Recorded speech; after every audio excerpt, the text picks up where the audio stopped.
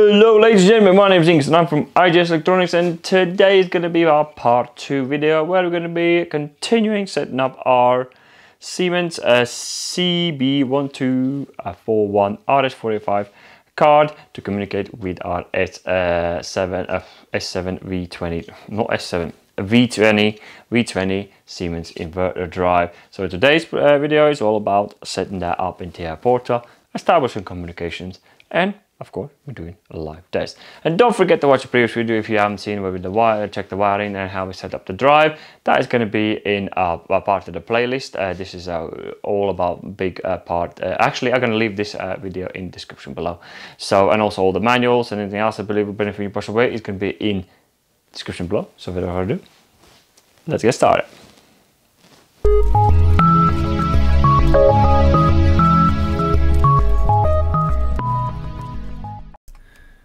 Here we are, so uh, as you can see I already have uh, pre-programmed uh, some of the blocks in here. I'm gonna run you through details of why we choose these blocks and why we uh, done them uh, the way they are.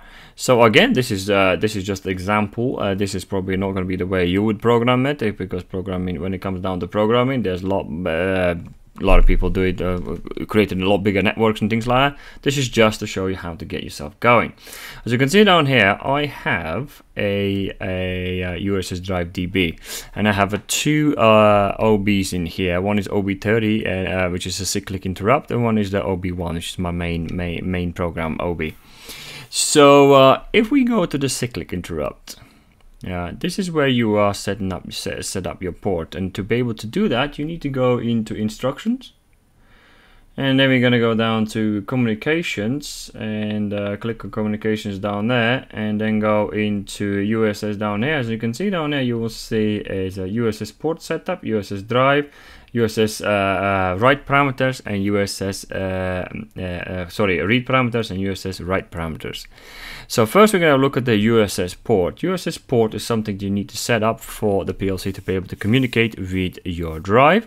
So and to really read up why cyclic interrupt I'm not going to get into cyclic uh, what a cyclic interrupt is but I'll give you a quick description what a Siemens says. If you click on the block and then click F1 it will take you into the come on.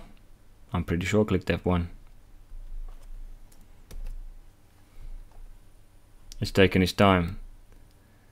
Here it is. So we opened up weirdly enough there. Mm, here we go. So it will open open these uh, this uh, sort of information system where you can read up on it. As you can see in here it says a CM1241 can only work on a firm. It gives you really, really detailed the uh, information uh, what is what, and it says only uh, firmware version v2.1 uh, of the module. So I do make sure those uh, that firmware matches uh, or is above. So and then you see down there you have to call the port. So it says in there your program must be must execute the USS port instruction often enough to prevent time timeouts in the drive. You should therefore call USS port instruction from a cyclic interrupt OB to prevent the timeout. So that's why it has to be that the call itself has to be done in a cyclic interrupt. So uh, that's pretty much that, and this then explains you what each thing is in in detail. And every single block in uh, uh, Siemens itself is able you are able to find out in here. So let's go that off. So as you can see down there, first one is going to be your actually card port, the port itself. So you can do that by just clicking on there and it will come up with all the, uh, on the list that is connected. So, and just find your card and click on it and then that'll be your port in here. So the baud rate, remember that's the one we selected in the drive as 8, which stands at 838,400. You can check out in the manual itself. Uh, error status is entirely up to you what you're doing down here. I just I just put in my temps for now. So and a uh, status as well. I'll put that in my temps as well for now. So I'm not gonna uh, use it for anything. So it's just gonna be in temps in there.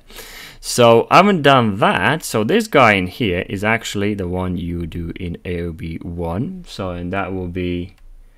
Uh, let's go back to communications itself. So uh, oh, I'm not supposed to do that and you can see down there this is this guy in here USS drive and this is the block is gonna come up and this is where you more or less can uh, start uh, adding uh, flags to it or, or tags and uh, how, whichever way you want to uh, how you control it. I'm going to be turning uh, controlling it from internal flags so because I'm to be using the HMI to control it.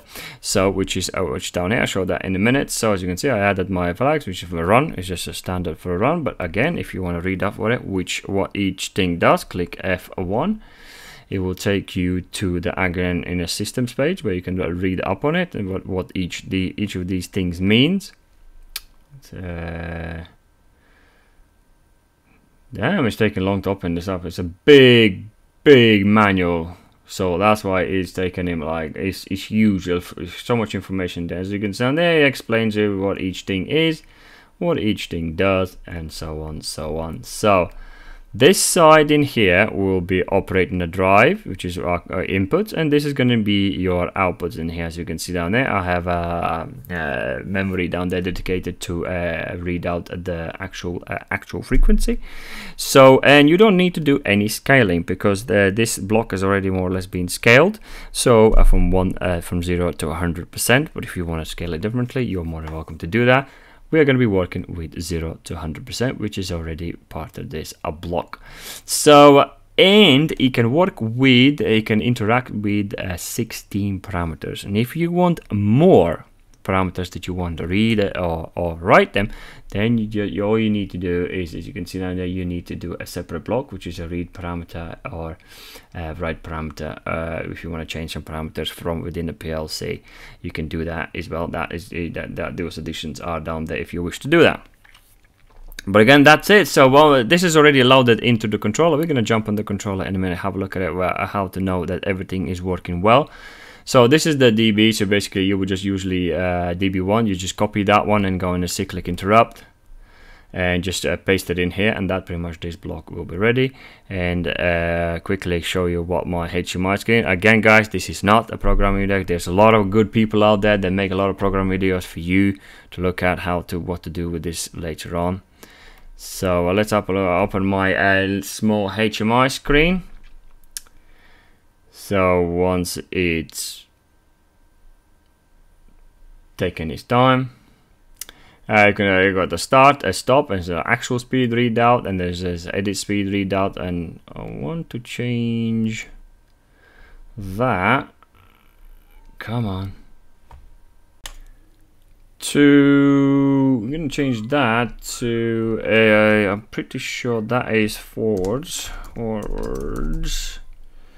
And then we're going to change that one to. How you do your flags or tags or whatever you're going to call them. I think you spell. Bloody hell. I'll do. So, uh, and uh, so yeah, so and done that. So, uh, here we go. We'll just quickly change that one. So, uh, so yeah, this is this is where my HMI is, and as you can see down there, I've got edit speed in there, and I'm basically to edit speed, I'm just using the basic move instruction because it's a real number. So uh, I just move uh, zero to one, zero to one hundred via the move instruction. Uh, you move in there, and it just sends it into the uh, sheet set the speed set up in there. So that will change the speed of the drive. So that's pretty much there is. So, so what we're gonna do now? Let's load this in and jump onto actual HMI uh, and the drive itself and see how that works. And before we do that, I forgot to say one more thing. So as you can see down there, there is uh, it says drive inset. This is where you will add your uh, drive number. Remember for the parameters, but we set it up in there. And this be uh, is that uh, the len. We I, I, kept that as as a two. So uh, do read up in manual what that is. But by default, the drive itself is stands at two. So I'm not going to get too into too much detail for this one as well. So make sure these numbers match exactly how they are in the drive as well. So I'm saying that. Now let's go to get the, get bleh, get to the testing. Here we are. So uh, here's our HMI.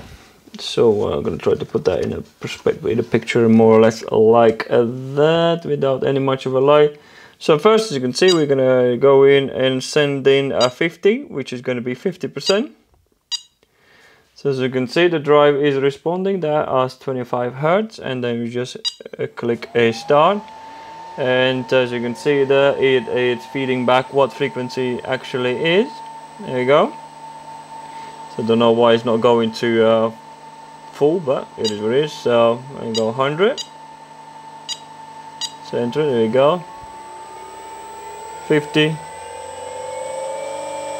And that, ladies and gentlemen, more, or less USS Bass using a, uh, forgot the card's name, one of the, uh, RS-485 communications with uh, the drive without much of it. So if you can do that, it will just uh, ramp down, it will uh, go into negative, which is in a reverse.